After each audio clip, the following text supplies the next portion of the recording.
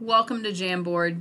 Jamboard is an interactive whiteboard. It's kind of like Google Slides. It is uh, made by Google, so you can share um, a Jamboard with a whole class and everyone can work on the same um, Jamboard or set of Google Slides is kind of what it's like, or you can um, force a copy and, and the kids could each have their own copy. So if you're doing a digital notebook, this would be a great thing for that. Um, the thing that I love about Jamboard is how easy it is to quickly make things. Um, you can make them on the fly, or you could um, make them and then just share that code in your um, in your assignment or in um, a Google Meet. So I'm going to show you a few of the features of Jamboard. So your first um, there are a couple different things. You have a set background, and you can set the background for every single slide. Super easy to do, and we will um, look at that. This, this guy right here says to do an image. Well, when you do that, you can draw, you can choose your own image. So if you have a, say a graphic organizer that you've used um, in class, just needs to be a picture. Um, so you could snip a picture and you could use that as your background. You could also take a picture. Uh, what I love about this is that you can Google search anything and insert that as your background. And, and we'll take a look at that in just a little bit. So that's that one. Uh, you have the ability to write. So if you have one of those little write or those little pen, I think inner writers or the uh, Wacom tablets, you could use that or you could use a mouse. Uh, but you have the ability to do a highlighter, a paintbrush, all of those things. You have an eraser. this is how you select specific items. Uh, I love the sticky notes. That's where you'll see these here. It's great to be able to tell students that ask them for a response and tell them to color it in a certain way based on something. So maybe it's if you have, I'd like you to pose a question uh, that you have on the assignment today if you can still continue to work, even if that question hasn't been answered yet, color your post-it green. If you really need some help to, to really go forward, color it yellow or something like that. And so to do the sticky note, colors are up there. They just type, hit save, and then it, it pops up. You can change the size of your sticky note by just changing, by just dragging that uh, corner. You can also duplicate your sticky note and order if you want to have one on top of another. So that's the sticky note option. Uh, the add the image, so all of these little images here, these are things that I just did a Google search. And all you do is just like the background, you just click that. Now I would hit Google image search. So I think I, um, I typed maybe new here, and that's where I picked up that picture. So it's super easy to insert that. You click it, you hit insert, and then you can change the size or do whatever you would like. I'm going to get rid of that because this is what we're using for the PD. You can also insert shapes. So you could add your an arrow. Maybe you're doing a sequence of events or something like that. And the text box is super easy. You just click on the little T, and you type something. Now notice how it came down on the second line. I don't really want that, so I'm going to extend it, but it's kind of large, so you can change the size of the font super easy like that.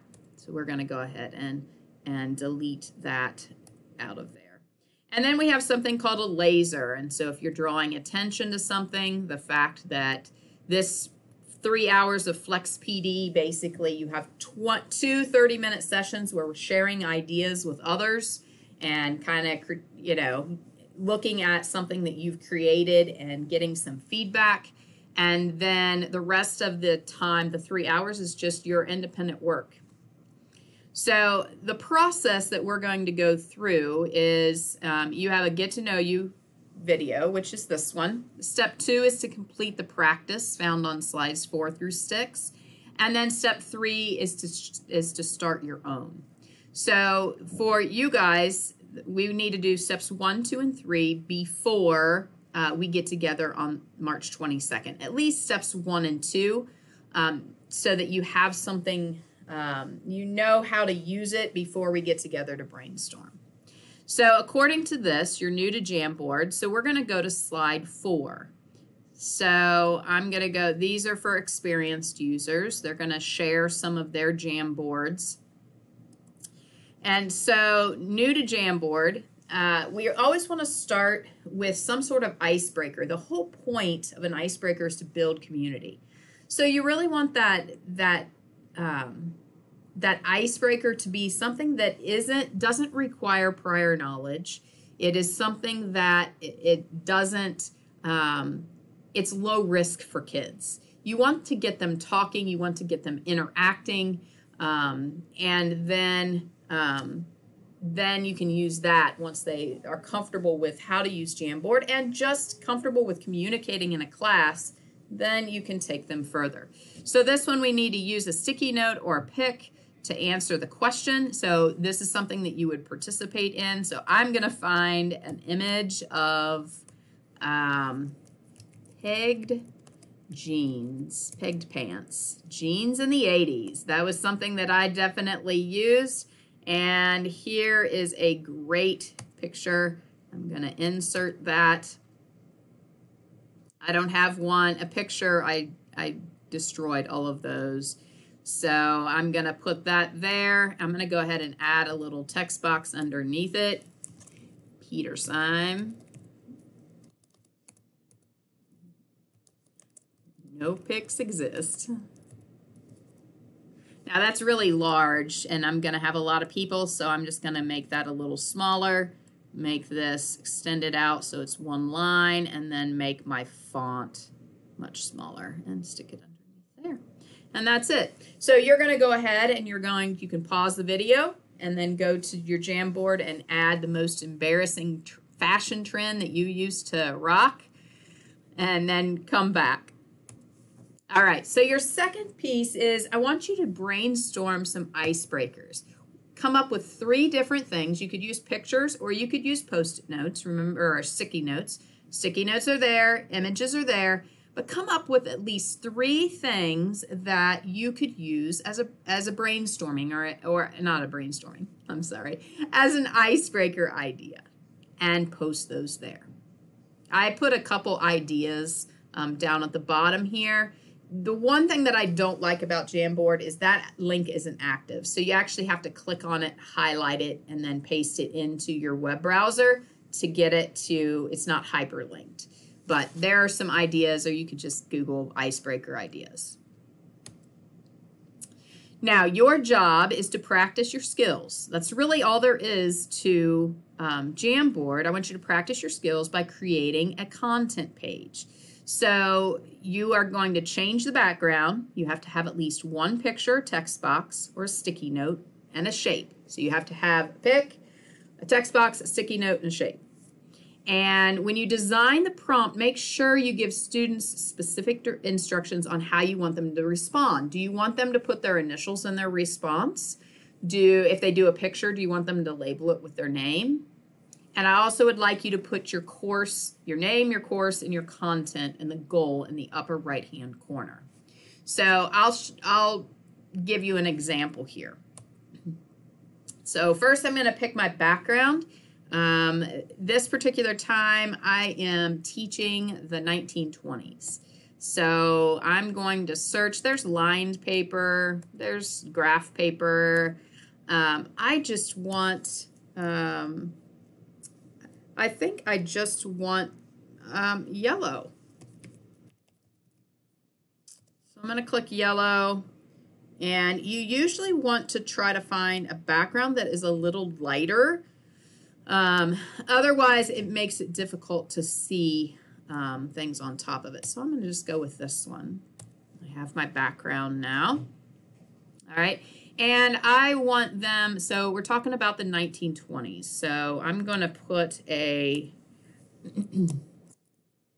um, or maybe we call it the roaring 20s.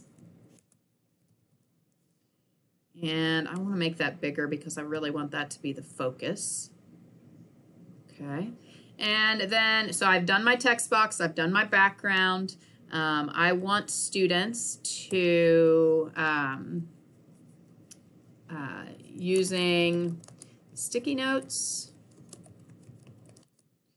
pictures, sticky notes, pictures,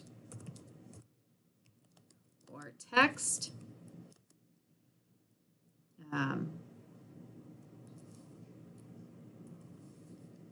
tell me um,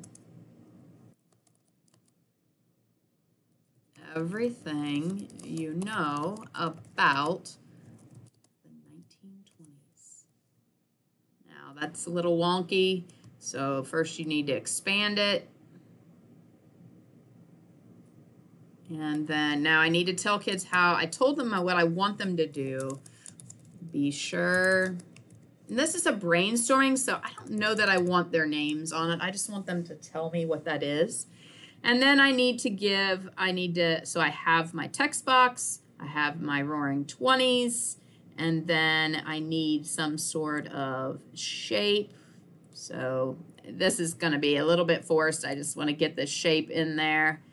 Um, and then I also need a picture. So let's go to 1920s and you can do maybe a search there, maybe throw in a picture.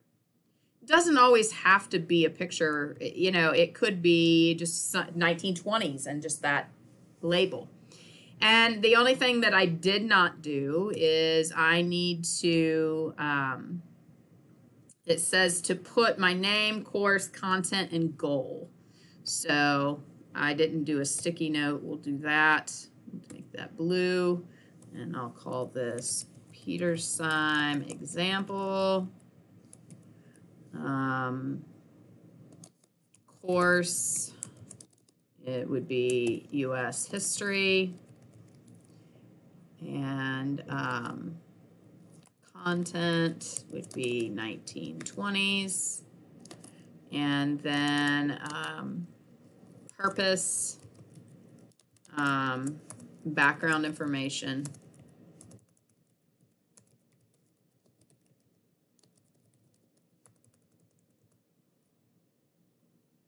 or an introduction. And then I'll just put that in the corner here. So then that way, and you would go ahead and finish your page. So that's really all that you have to do. That's the practice. Now when it's time to share, when it's time to share, you'll come up here and you'll get the share code. And you want to change. And so when you do this, um, right now, everybody is an editor, which is what we want uh, because it's a class um, Jamboard. Now, if you want it to be a, I'll show you, if, if you want it to be an assignment where each student is getting their own, then when you paste that link in your Canvas page, you would replace all of this, this edit question mark USP equals sharing. We basically would replace all of that with the word copy. And that's how you share it. Let me know if you need help, um, and we'll do some brainstorming.